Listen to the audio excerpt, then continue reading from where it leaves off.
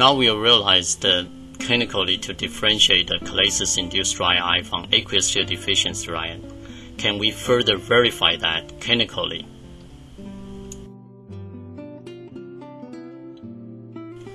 Here I remind you that aqueous tear deficient dry eye can be differentiated from chalasis-induced dry eye.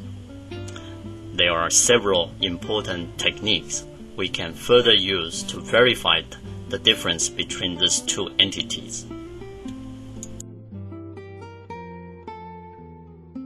The first technique one can use clinically is to verify conjunctivochalasis is to use fluorescein staining as illustrated here, which will show the obliteration of the tear meniscus. The second technique is to ask the patient to blink vigorously at the slit lamp examination, showing here the formation of wrinkled tissue at 6 o'clock. This wrinkled tissue disappear upon upper gaze. The third technique is to perform digital compression of the list against the globe. As shown here, the normal conjunctiva show no movement of the conjunctiva and the blood vessel and the superior and inferior bulbar conjunctiva. In contrast, patient with conjunctivochalasis, the even normal blinking showing the movement, and then this will become more exaggerated when the uh, pressure is pressed against the globe. And here shows another eye, a similar finding. The area tend to have more inflammation as well.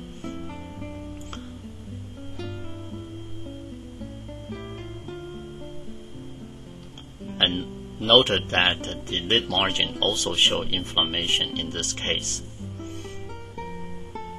And here again, it's more uh, more obvious where the inflammation area and inflamed area can be wrinkled easily by compression, and there is a fat prolapse in the region and the lid inflammation as well.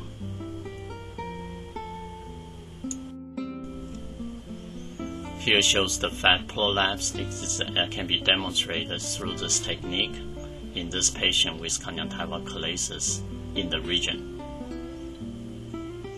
This is another example where the fat prolapse is seen and then the, the lid inflammation and the adjacent conjunctival inflammation, the wrinkled tissue, is manifest upon digital compression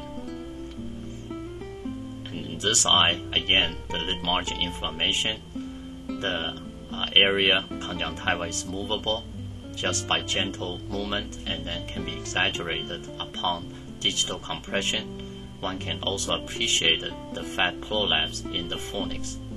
The nasal bulbar conjunctiva showing the occlusion of the punctum and again temporal area had inflammation, the fat prolapse, as well as the wrinkled tissue upon manifest by digital compression of the eye as shown here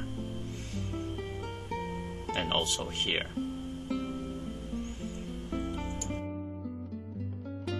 The same technique can be used for superior bulbar conjunctiva shown here. The normal conjunctiva has no movement upon the digital compression and the excursion of the lids and uh, you can see here a higher magnification, there is no wrinkled tissue generated. In contrast, patient with SLK, the tissue is freely movable and can be compressed into a notable wrinkle and redundant tissue. And this area is corresponding to the filament formation, the telangiectatic blood vessels, the keratinization, and the features known for SLK as illustrated here in this patient as well. The fourth technique to use 0.12 forceps to grab the conjunctiva right before the surgery. As demonstrated here, a tent uh, can be created as a result of such grabbing in the area where the conjunctivochalasis is located. Here shows the normal area and look at the difference made in the area where the conjunctiva is redundant, in this case superior fornix.